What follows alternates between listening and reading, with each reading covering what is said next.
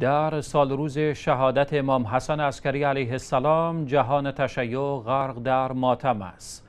به گزارش شیویوز مراسم عزاداری بر آن امام همام در شهر سامرا و در حرم امامین عسکریین علیهما السلام رنگ و بوی دیگری داشت. شیعیان عراقی از شهرهای مختلف با وسایل نقلیه و حتی با پای پیاده خود را به حرم متحر امامین عسکریین علیهما السلام رسانده و در این مکان اقامه عزا نمودند. شب گذشته نیز شیعیان در شام شهادت آن حضرت در حرم متحر عسکریین به عزاداری پرداختند.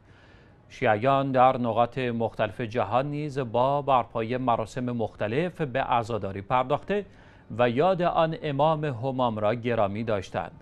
موکبهای خدمت رسانی نیز از چند روز پیش خدمات مختلفی را به زائران و عزاداران ارائه نمودند.